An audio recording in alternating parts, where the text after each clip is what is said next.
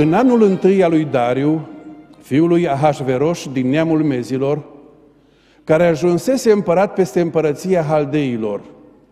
În anul întâi al domniei lui, eu, Daniel, am văzut din cărți că trebuia să treacă 70 de ani peste dărâmăturile Ierusalimului, după numărul anilor care, despre care vorbise Domnul prorocului Ieremia. Și mi-am întors fața spre Domnul Dumnezeu ca să-L caut cu rugăciune și cereri, postind în sac și cenușă. M-am rugat Domnului Dumnezeului meu și i-am făcut următoarea mărturisire. Doamne Dumnezeule mare și înfricoșător, Tu care ții legământul și dai îndurare celor ce te iubesc și păzesc poruncile Tale. Noi am păcătuit, am săvârșit nelegiuire, am fost răi și îndărădnici, ne-am abătut de la poruncile și orândurile Tale. N-am ascultat pe robii Tăi proroci, care au vorbit în numele Tău împăraților noștri, căpetenilor noastre, părinților noștri și către tot poporul țării. Tu, Doamne, ești drept, iar nouă ni se cuvine astăzi să ni se umple fața de rușine. Nouă tuturor oamenilor lui Iuda, locuitorilor Ierusalimului și întregului Israel, fie ei aproape, fie departe, în toate țările în care i-ai izgonit din pricina fără de legilor de care s-au făcut vinovați față de tine. Doamne, nouă ni se cuvine să ni se umple fața de rușine, da, nouă, împăraților noștri, căpetenilor noastre și părinților noștri, pentru că am păcătuit împotriva Ta. La Domnul Dumnezeul nostru este însă îndurarea și iertarea. Împotriva Lui ne-am răzvrătit.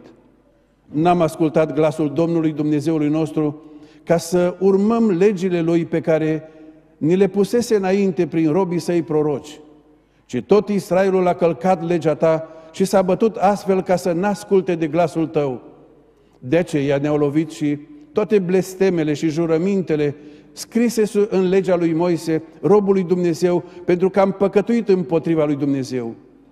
El a împlinit astfel cuvintele pe care le rostise împotriva noastră și împotriva căpetenilor noastre care ne-au cârmuit și a dus peste noi o mare nenorocire, așa cum niciodată și nicăieri sub cer nu s-a mai întâmplat o nenorocire care aceea care a venit asupra Ierusalimului.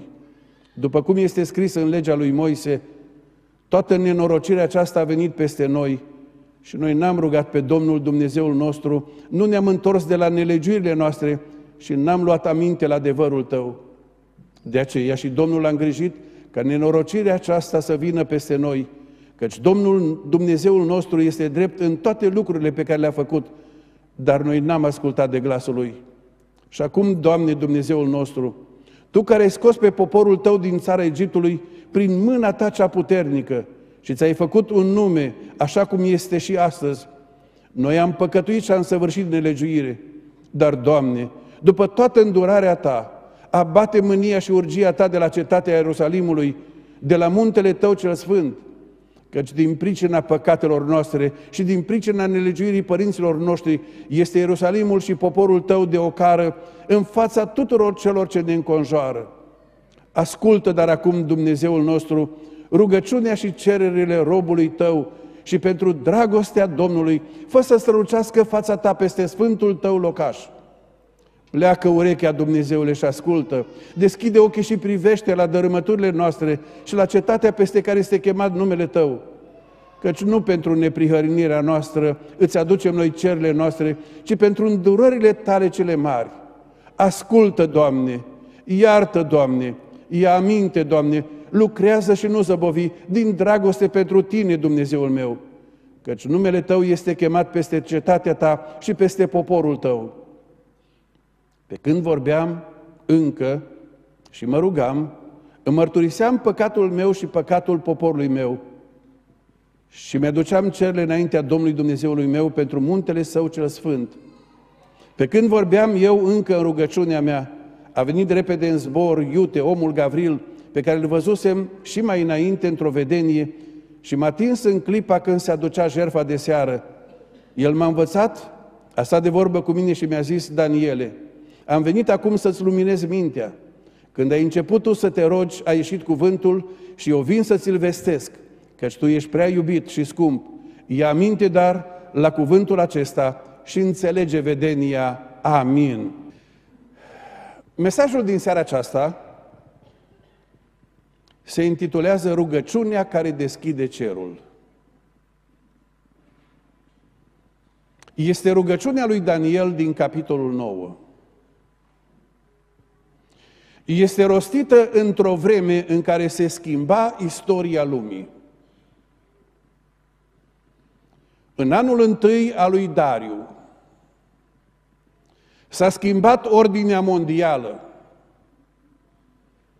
S-a prăbușit un mare imperiu. A căzut Babilonul. A fost cucerit de armata medo-persană. O vreme de suferință, o vreme de jale, o vreme de grele încercări.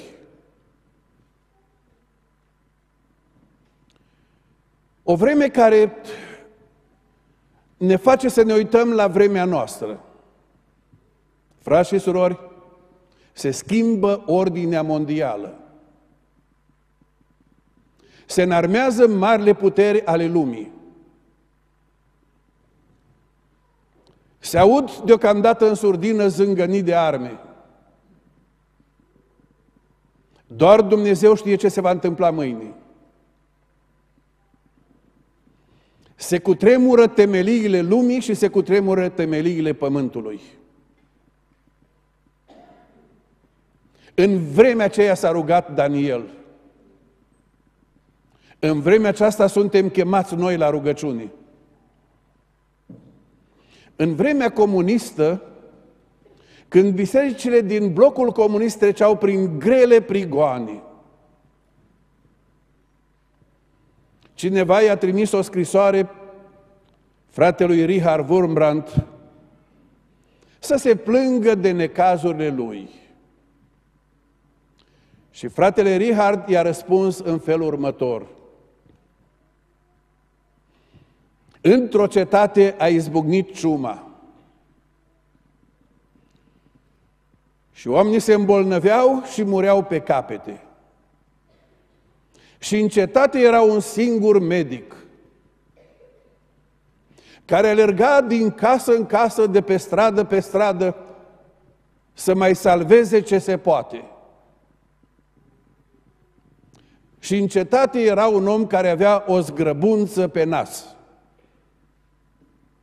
Și era deosebit de nemulțumit că doctorul nu vine și la el. Și spunea fratele Richard Wurmbrand, așa suntem noi uneori, când e atâta suferință, ne plângem de lucrurile noastre mici. În vremea aceea s-a rugat Daniel. În vremea de acum suntem chemați noi la rugăciune. Câteodată rugăciunile noastre sunt preocupate de zgrăbunța noastră mică. Când în vremea de acum nenorocirile care lovesc lumea sunt așa de mari, când numărul celor care pleacă în veșnicie pierduți pentru totdeauna este așa de mare,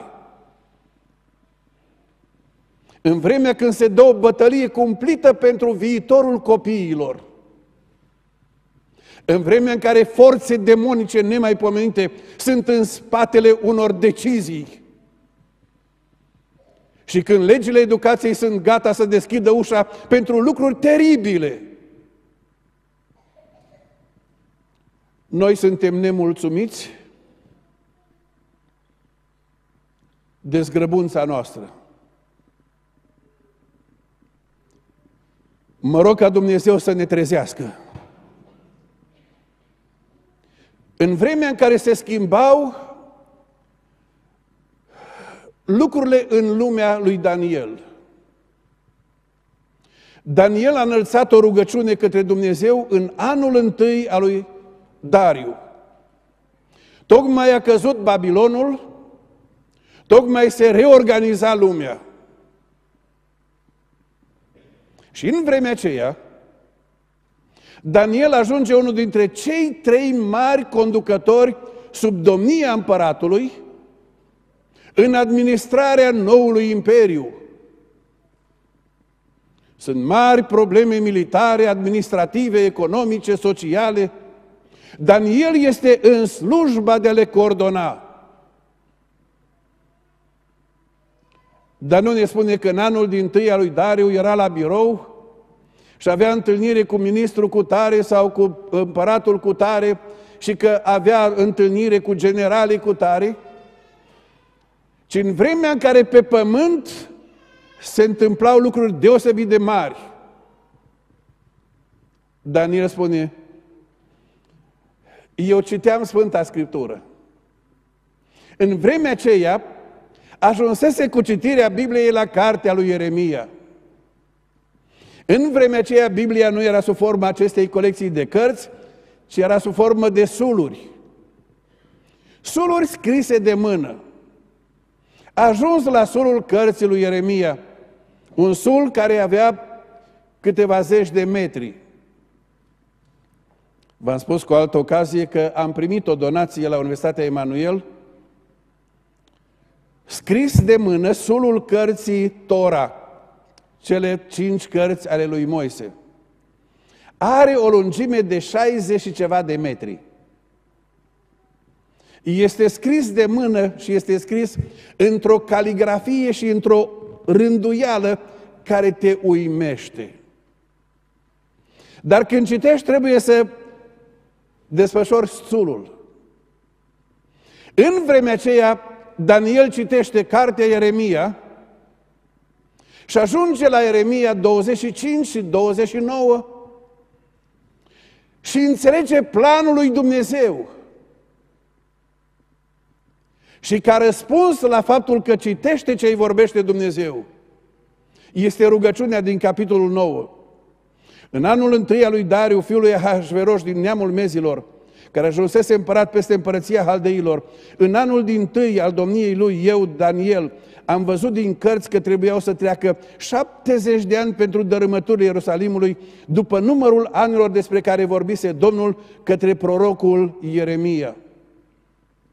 În timp ce se reorganiza lumea, în timp ce avea responsabilități în administrația Imperiului, Daniel înțelege că se mai întâmplă ceva. Că se împlinește vremea pentru robie. Că Dumnezeu a stabilit ca robia, egiptea, ca robia babiloniană să fie doar de 70 de ani și i-a spus lui Ieremia și Ieremia a scris ceea ce Dumnezeu i-a transmis. Și Daniel citește că au fost rânduiți 70 de ani și apoi se termină robia.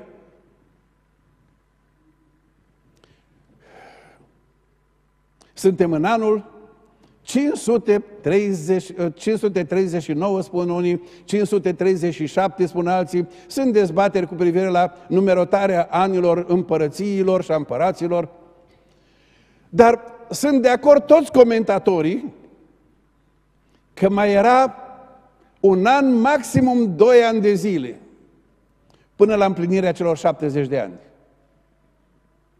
Când Daniel citește Biblia, înțelege planul lui Dumnezeu. Dumnezeu are un plan cu tot universul acesta. Ne spune Isaia, capitolul 40, că Dumnezeu conduce galaxiile. Și Dumnezeu cunoaște toate corpurile cerești din toate galaxiile și Isaia ne spune, le cheamă pe nume și niciuna nu lipsește la apel. E un Dumnezeu atât de mare. Ne spune Isaia că Dumnezeu conduce popoarele, națiunile. Istoria fiecărui popor este înscrisă în planul suveran al lui Dumnezeu.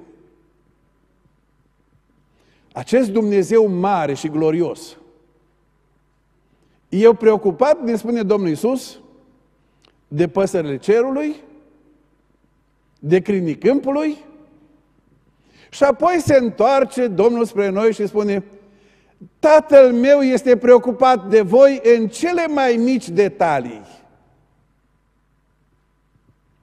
David în psalmul 8 spune, când privești cerurile, luna și stelele, lucrarea mâinilor tale, mă întreb ce se întreabă. Ce este omul în comparație cu ele ca să-l bagi în seamă? În comparație cu imensitatea Universului, ce este omul, ce sunt eu și ce ești tu, ca să te bage Dumnezeu în seamă? David este copleșit de faptul că din imensitatea Universului Dumnezeu își găsește plăcerea să ne viziteze pe noi, să vină la noi, să aibă timp cu noi, să-și găsească plăcerea în acești copilași și să aibă Dumnezeu pentru ei viitor și speranță. Și să aibă pregătiți pentru ei îngeri păzitori. E un Dumnezeu care se ocupă de cele mai mari lucruri și se ocupă de cele mai mici detalii. Și zice, de ce zici tu, Iacove, că soarta mea este ascunsă din mâna Domnului? Pe ce te bizui când faci o asemenea afirmație? Că Dumnezeu este preocupat și de firele de păr de pe capul nostru. Adică nu există detaliu de care Dumnezeu, lui Dumnezeu să nu-i pese. Și când Daniel citește despre ceea ce face Dumnezeu, la nivelul cosmosului și la nivelul istoriei, Daniel descoperă că Dumnezeu are un plan pentru poporul său Israel. Că Dumnezeu este Cel care a stabilit istoria, se împlinește vremea eliberării. Și când citește Biblia, Daniel îi răspunde lui Dumnezeu în rugăciune. Rugăciunea care deschide cerul este rugăciune biblică. Daniel se roagă lui Dumnezeu pe baza Scripturii. Am descoperit ce spune Dumnezeu și mă rog să-și împlinească Dumnezeu planul. Rugăciunea biblică este rugăciunea în care îi aducem lui Dumnezeu planul lui și promisiunile lui și spunem, Doamne, suntem aici și ne dorim din toată inima să împlinești promisiunile acestea. Ai promis că după 70 de ani vei elibera poporul. Doamne, împlinește-ți promisiunea. Ai promis că nu vrei moartea păcătosului, ci vrei mântuirea lui. Doamne, mântuiește-i! Ne-ai promis că ești un Dumnezeu care îndelungă răbdare. Doamne, întindeți îndurarea peste cei care amână pocăința. Ne-ai spus că va fi înălțat Hristos și vei aduce toți oamenii la tine. Și noi spunem, Doamne, adu pe toți și începe cu cei din casele noastre. Frați și surori, rugăciunea care deschide cerul este rugăciunea în care îi aducem lui Dumnezeu cuvintele lui din Scriptură în rugăciunea noastră înaintea lui. De ce? Ne identificăm cu planul lui. Ne sunt dragi promisiunile lui. Și din toată inima spunem, Doamne, planul Tău este atât de bun și glorios, promisiunile Tale sunt atât de mari și frumoase, din toată inima Te rugăm, Doamne, împlinește-le. Daniel se roagă și rugăciunea lui este biblică. Nu se roagă cu ideile lui, cu năzuințele lui, cu preocupările lui. Nu îi aduce lui Dumnezeu gândurile lui, ci îi aduce lui Dumnezeu ceea ce Dumnezeu i-a descoperit în Scriptură. O primă aplicație. De atâtea ori citim un text din Biblie la rugăciune de exemplu, dacă citim din psalm, lăudați pe Domnul că este bun și îndurarea Lui ține în veac. Și spunem, fraților, haideți să lăudăm pe Domnul. Și începe câte unul să se roage și numai nu laudă pe Domnul. E preocupat de zgrăbunța Lui. Și în loc să spună, Doamne, e vremea să te lăudăm pe tine, e vremea să-ți aducem cuvintele tale înapoi în rugăciune, preocupat de zgrăbunța mea. Și o să zici, da frate Paul, dar lui Dumnezeu nu-i pasă de zgrăbunța mea. Ba da, numai că nu de acolo începe ordinea lucrărilor lui Dumnezeu. Că începe din descoperirea planului lui Dumnezeu, Că începe din ceea ce este frumusețea modului în care Dumnezeu conduce istoria mare a cosmosului, istoria popoarelor, istoria bisericii, istoria familiei, istoria fiecăruia personal și istoria acestor copilași. Știți că atunci când s-a născut Ioan Botezătorul, oamenii din preajmă s-au întrebat, oare ce va fi copilul, ce, ce se va alege de copilul acesta, ce va ajunge? Ne uităm cu drag la copiii aceștia și spunem, Doamne, fă să ajungă mari oameni al lui Dumnezeu. O generație de predicatori din băieții aceștia deosebiți și soții de predicatori din fetele acestea frumoase. Și biserica zice, amin. Ne rugăm să fie o generație de oameni care înalță numele Domnului. Cei mai mari care sunt în sală își dau coate și întreabă ce rugăciune am pentru ei. Domnul să-și împlinească planul cu privire la voi, amin. Rugăciunea inspirată din Scripturi. Așa se roagă Daniel. Rugăciunea care deschide cerul este o rugăciune biblică și este o rugăciune teocentrică. M-am rugat Domnului Dumnezeului meu și am făcut următoarea rugăciune stăruitoare. Doamne Dumnezeule mare și înfricoșător, Tu care ții legământul și ai îndurare pentru cei ce te iubesc și păzesc poruncile tale. Daniel începe rugăciunea uitându-se la măreția lui Dumnezeu și uitându-se la caracterul lui Dumnezeu. Când se roagă Daniel, se uită mai întâi la Dumnezeu. Cât e de mare Dumnezeu?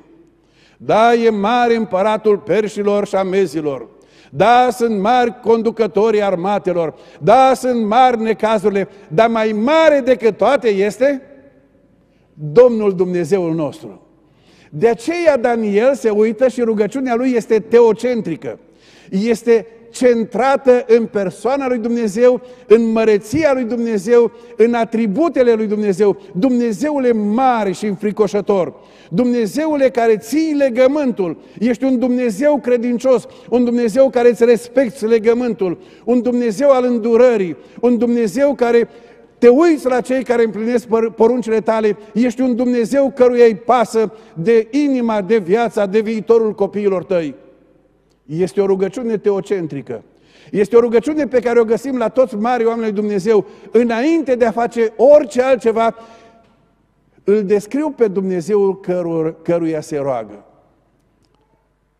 O rugăciune teocentrică. Noi suntem înclinați de cele mai multe ori să ne uităm la necazurile noastre și ne uităm la greutățile și la suferințele și la nemulțumirile noastre și venim înaintea lui Dumnezeu uitând că mai întâi de toate suntem chemați să ne închinăm și să-L onorăm, să-L cinstim pe Dumnezeul căruia ne rugăm și să îi declarăm dragostea noastră, ascultarea noastră și închinarea noastră. În rugăciunea Tatăl nostru, Domnul Iisus ne învață să ne uităm mai întâi la Dumnezeu și spunem, Tatăl nostru care ești în cerul, sfințească-se numele Tău, vie împărăția Ta, facă-se voia Ta. Deci mai întâi rugăciunea Tatăl nostru este ancorată în persoana lui Dumnezeu, în lucrările lui Dumnezeu, în sfințenia, în atributele lui Dumnezeu. Așa este rugăciunea lui, Dan- lui Daniel. Doamne Dumnezeule mare și înfricoșător, Tu care ții legământul și dai îndurare celor ce te iubesc și păzesc poruncile Tale. Rugăciunea lui Daniel este adusă înaintea lui Dumnezeu în baza legământului. Este legământul lui Dumnezeu cu poporul Israel. Legământ pe care l-a încheiat Dumnezeu când i-a dus în țara făgăduinței și legământul acesta are două mari dimensiuni. Binecuvântări și care e partea a doua? Blesteme. Dumnezeu a spus, vă duc într-o țară în care curge lapte și miere. Închei cu voi astăzi legământ. Dacă veți asculta de poruncile mele, dacă veți împlini planul meu, dacă veți trăi în ascultare, acestea sunt toate binecuvântările care vă vor însoți. Le citim în Deuteronom, în rezumatul lor, și sunt absolut copleșitoare. Binecuvântat acasă și binecuvântat în cetate și la câmp.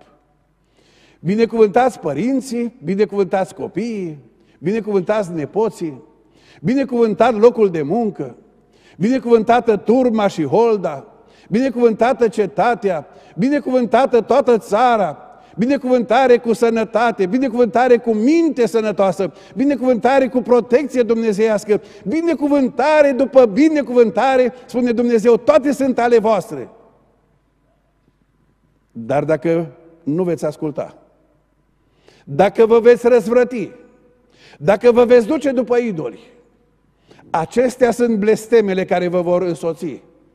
Blestemele care vor veni după voi și vă vor lovi. Și sunt blesteme înfiorătoare.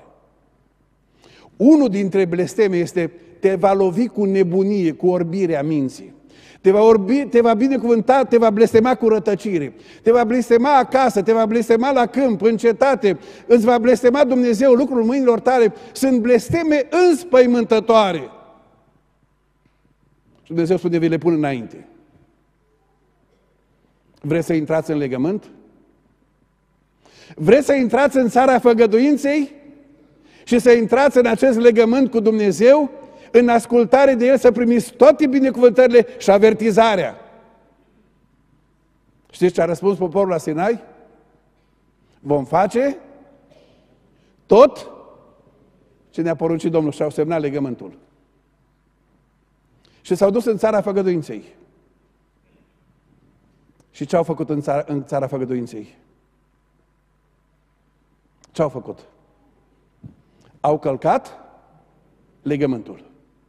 Când s-au văzut în țara binecuvântărilor, i-au întors spatele lui Dumnezeu. Și una dintre pedepse este această deportare, acest exil în Babilon. Scoși din țara lor și împrăștiați în Imperiul Babilonian în suferințe cumplite pentru 70 de ani și Ieremia spune 70 de ani și apoi Cartea 2 Cronii spune 70 de ani ca să recupereze toate sabatele care au fost călcate. 70 de ani ca țara să-și primească această răsplată pentru sabatele care au fost călcate. Și Daniel citește în Biblie, se apropie vremea eliberării.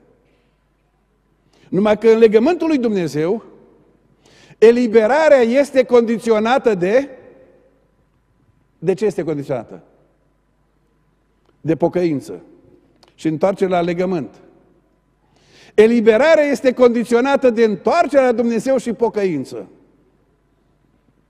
Și Daniel se uită că mai e puțină vreme și se uită la popor. Și numai pocăință nu se vede. Și numai dorința de a se întoarce la Dumnezeu nu se vede. Se uită la popor și poporul s-a obișnuit cu Babilonul și au început să se deprindă cu modul de viață babilonian. Și nu-și mai aduc aminte de psalmul în care spun Ierusalime, dacă te voi uita, să-și uite mâna dreaptă de prinderile ei. Nu mai sunt în faza în care spun cum să cântăm noi cântările Domnului pe un pământ străin. Nu le mai este dor să se întoarcă la Dumnezeu. S-au obișnuit cu Babilonul și cu modul de viață în Babilon. Și Daniel se uită la starea poporului și înțelege că singura posibilitate de împlinire a promisiunii lui Dumnezeu este pocăința. Și spune, mi-am întors fața spre Domnul Dumnezeu ca să-L caut cu rugăciune și cereri, postind în sac și cenușă. Daniel spune, dacă nu se roagă nimeni, mă rog eu. Întâlnesc din când în când frați, surori, oameni scumpe rugăciunii. Oameni evlavioși, oameni cu inima legată de Domnul care vin să spun, frate Paul, m-am descurajat, sunt gata să renunț și eu. Văd că alții nu mai vin la rugăciune, altora nu le pasă. Frate Paul, m-am, m-am descurajat. Unul dintre exemplele pe care le dau este exemplul lui Daniel. Spun, când Daniel s-a rugat în capitolul 9, n-a mai venit nimeni la rugăciune. S-a rugat singur. Când Neemia se roagă, nu mai vine nimeni lângă el să se roage, se roagă singur. Dar rugăciunea unui om care se roagă pe baza Scripturii, în planul lui Dumnezeu, Dumnezeul suveran, rugăciunea aceea deschide cerul, amin. Daniel se roagă singur și rugăciunea unui singur om ajunge la tronul de îndurare al lui Dumnezeu și pune cerul în mișcare. De aceea, frate, soră, mai în vârstă sau mai tânăr, nu te descuraja dacă ai rămas singur ci din potrivă încurajează-te că Dumnezeu te ascultă și dacă e singur și Dumnezeu face lucrări pe măsura numelui și a puterii sale. Nu vă descurajați. Nu abandonați. Daniel se roagă și când vine în vremea lui Dariu, în uneltirile celorlalți care sunt geloși și vor să fie instrumentele celui rău, să-l scoată pe Daniel din planul lui Dumnezeu și vin cu acea uneltire să dea o poruncă în care timp de 30 de zile nimeni să nu se roage altcuiva decât împăratului. Daniel se duce în camera lui, deschide ferestrele spre Ierusalim și se roagă de câte ori? De trei ori pe zi, cum făcea și mai înainte. Daniel nu este descurajat că e singur, nu este descurajat că e luptă pentru rugăciune, că sunt amenințări. Daniel se roagă bazat pe promisiunile lui Dumnezeu, pe suveranitatea lui Dumnezeu, bazat pe cuvântul lui Dumnezeu. Rugăciunea aceasta ancorată în cuvânt și centrată în Dumnezeu este rugăciunea care ajunge la tronul de îndurare al lui Dumnezeu și Daniel își continuă rugăciunea. Numai că rugăciunea aceasta este rugăciune în termenii Scripturii. Este rugăciune în termenii legământului. Doamne, Dumnezeule mare și înfricoșat, Tu care ții legământul și dai îndurare celor ce te iubesc și păzesc poruncile tale, noi, noi ce am făcut? Urmează o rugăciune a pocăinței. Urmează o rugăciune a pocăinței în care Daniel folosește atâtea cuvinte pentru neascultarea poporului, încât să nu rămână niciun aspect a neascultării și a păcatelor lor nemenționat. Pocăința adevărată este să-i spunem lui Dumnezeu în termenii lui Dumnezeu ceea ce am făcut. Noi am păcătuit, am săvârșit nelegiuire, am fost răi și îndărădnici, ne-am abătut de la poruncile și orândurile tale, n-am ascultat pe robii tăi proroci, care au vorbit în numele Tău, împăraților noștri și căpetenilor noastre. Doamne, Tu ești drept, iar nouă ni se cuvine astăzi să ni se umple fața de rușine, nouă tuturor oamenilor și locuitorilor Ierusalimului. Doamne, nouă ni se cuvine să ni se umple fața de rușine, da, nouă, pentru că noi am păcătuit. Este o rugăciune a pocăinței. Este o rugăciune a mărturisirii păcatelor. Este o rugăciune în care Daniel se identifică cu păcatele poporului. Acum în Biblie citim că și profetul menționează din partea lui Dumnezeu că în vremea în care Dumnezeu este gata să aducă judecata peste Ierusalim, Dumnezeu spune, dacă ar fi în cetatea aceasta trei oameni, care sunt cei trei? Moise, Ilie și Daniel. Trei oameni pe care Dumnezeu îi menționează și spune, oamenii aceștia, care au mijlocit în rugăciune înaintea lui Dumnezeu, fiecare în vremea lui și în bătăliile vremii respective. Dacă ar fi oamenii aceștia să mijlocească pentru Ierusalim, în starea în care a ajuns Ierusalimul, nu-l mai pot ierta. Și acum acest om neprihănit al lui Dumnezeu, la care Biblia spune, om scump și prea iubit, Om care are mare preț înaintea lui Dumnezeu, vine înaintea lui Dumnezeu și mărturisește în rugăciune pocăința de păcatele și spune, mărturiseam păcatele mele și ale poporului meu. Doamne, noi am păcătuit, noi am fost răi, noi ne-am răzvrătit, Doamne, noi am făcut. Doamne, toate nenorocirile care au venit sunt din pricina noastră. Tu ești drept, Doamne, când vin necazuri datorită păcatului. Daniel nu spune, Dumnezeu putea să fie mai îngăduitor. Daniel spune, Doamne, Tu ești drept. Legământul Tău este da și amin. Noi am fost răzvrătiți, răi, am călcat poruncile. Noi, împărații noștri, conducătorii noștri, părinții noștri, tot poporul lui Israel, tot poporul acesta a păcătuit și Daniel se include între ei și este o rugăciune a mărturisirii păcatelor. Frați și surori, cea mai repede ascultare rugăci- ascultată rugăciune este rugăciunea pocăinței. Cea mai rapid ascultată rugăciune este rugăciunea pocăinței. Spune Daniel, pe când mă rugam, încă n-am terminat rugăciunea, am și primit răspunsul. Când Domnul Isus a fost răstignit, pe cruce, în stânga și în dreapta erau alți, doi condamnați, doi tâlhari.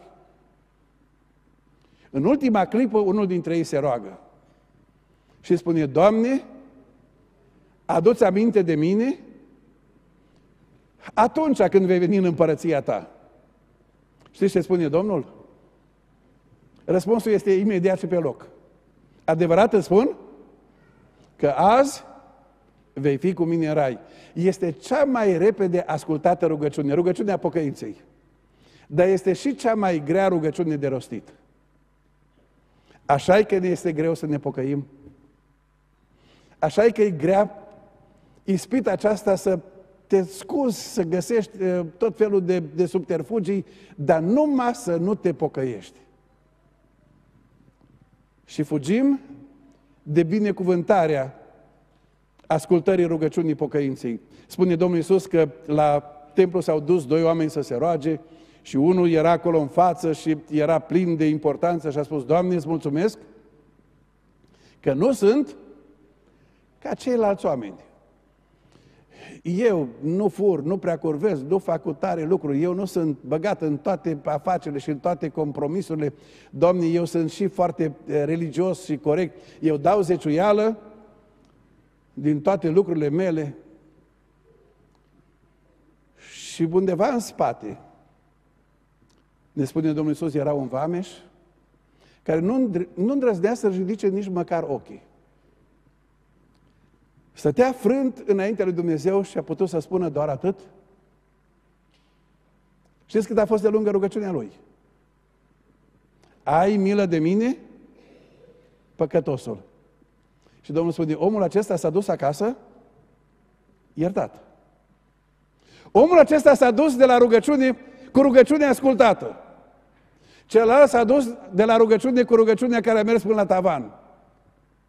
Este cea mai ascultată și cea mai rapid ascultată rugăciune, rugăciunea pocăinței. Și noi spunem, Doamne, ajută-ne să ne pocăim.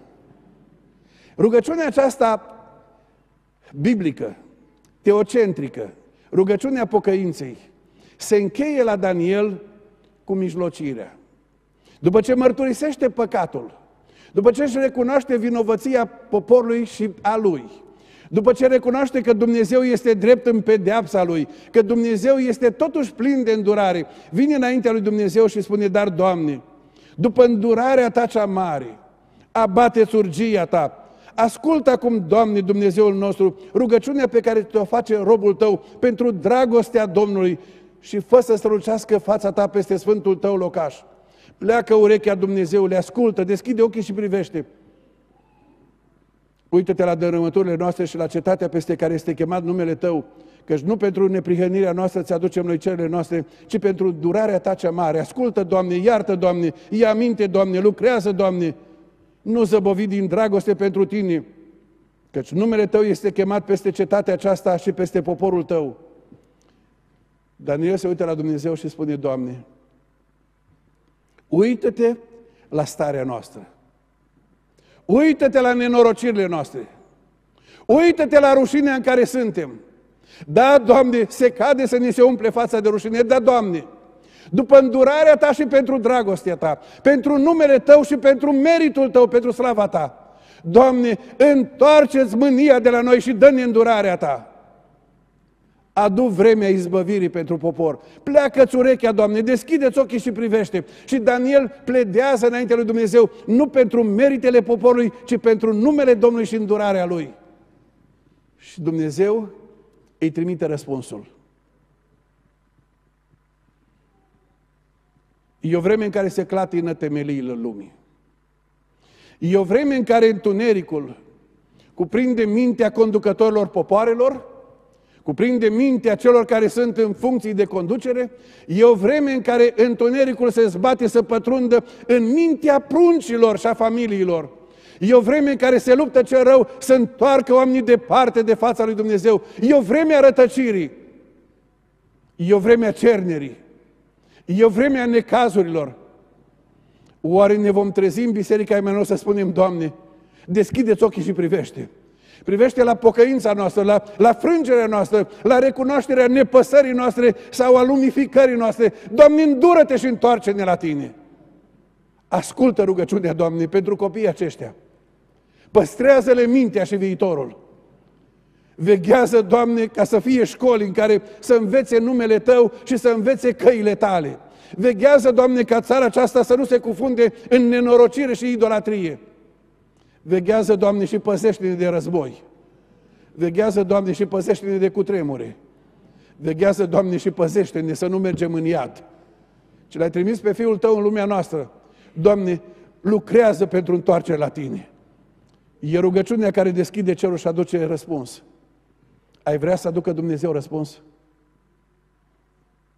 Vă invit să avem un moment de rugăciune tăcută. Treci dincolo de zgrăbunța ta.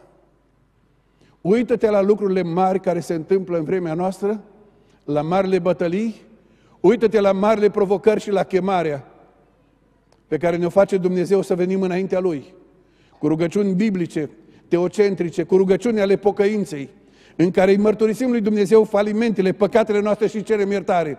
Dar mijlocim înaintea lui Dumnezeu ca să păzească biserica, să păzească familia, să păzească pruncii, să păzească țara, să se îndure de lumea aceasta și să ne mai cerceteze odată cu îndurarea Lui și cu mântuirea Lui. Câteva momente de rugăciune tăcută și apoi vom cânta împreună cu copiii și să chem toată biserica, să, chemăm, să cântăm împreună cu copiii. Dar petrecem câteva momente de rugăciune tăcută.